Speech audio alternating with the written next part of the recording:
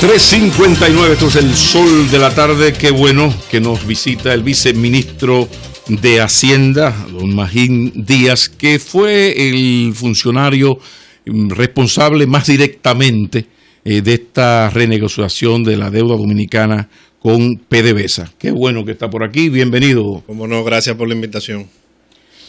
Bueno, nosotros eh, hemos estado hablando del tema y hubo un oyente que planteó una inquietud eh, cuando abrimos los teléfonos hace, hace un ratito.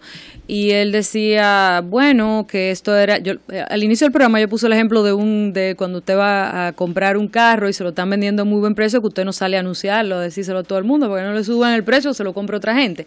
Y él dice, pero es que lo que se hizo fue como recurrir a un usurero, porque nosotros teníamos una deuda de 6%, eh, perdón, de, Uno. de 1% a 25 años y terminamos a 6% a 11 años. Entonces, eh, explíquele, por la favor, la cuál es la racional de, puntual. de eso. ¿Por qué tomar dinero al 6% para pagar una deuda a 25 años al 1%?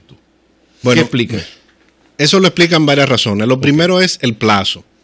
La deuda de Petrocaribe de, con PDVSA tenía un plazo de 23 años para pagar con dos años de gracia pero no era una deuda que se pagaba al final de los 25 años, sino que cada año amortizaba. Y si uno calcula eso, el perfil de vencimiento, el plazo de pago de esa deuda promedio eran 11.4 años. Cuando usted habla de amortización, ¿a qué se refiere? Al capital. Ok. Cada año había que Cada año, a partir del tercer año, había que pagar capital. Okay. Es decir, que el plazo promedio de esa deuda no eran 25 años, eran 11.4 lo cambiamos por una deuda que tiene un vencimiento de 19.7 años, es decir, que extendimos el plazo, eso es lo primero.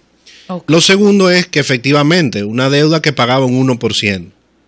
Antes pagábamos un 1% por 4 mil millones y ahora un 6% por 1.933 millones. O sea que conseguimos un descuento del 52%. Pero el país puede estar tranquilo porque hicimos la transacción de manera tal que el servicio de la deuda es menor con este bono que con Petrocaribe. Por ejemplo, para darte un ejemplo, en los próximos 10 años, los intereses más la amortización de Petrocaribe anual sumaban en promedio 205 millones. Okay. La nueva deuda va a pagar 119 millones de dólares.